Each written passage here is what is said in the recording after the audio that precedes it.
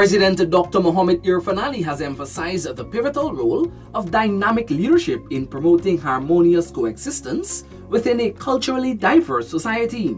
He made the statement while addressing the opening of the General Conference of Seventh-day Adventists Center for South Asian Religious Annual Leadership Development Conference at Regency Hotel on Monday. Guyana is made up of six ethnicities with distinct languages and cultures, and therefore, the president said leadership within the church must be provided. Leading in this sphere requires balance in the complex world.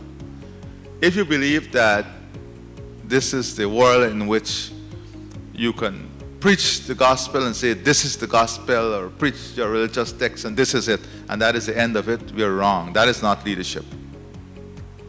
That is not leadership. That might be reading the scripture, but that is not leadership. So, the first principle I think we have to address is balance. What constitutes balance?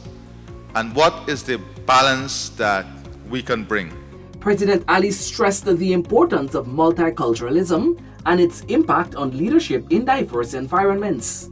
To this end, he urged the Sabbath observers to boldly address the issue during the conference, emphasizing that the complexity of these matters should not discourage them from engaging in open debates, conducting analysis, and creating comprehensive plans for effective leadership. In this complex world environment, the leadership of the church, not the church, I'm separating the two, has to be adaptable and flexible. However, the leadership, though adaptable and flexible, must be shaped by the values, principles, and foundational beliefs on which your leadership stand. Now, this is a second aspect of the complexity because your leadership in the church and the religious community stand on something. It is not leadership by Maslow theory or any one theory. It's leadership that stands on a foundation because you are not leading a restaurant.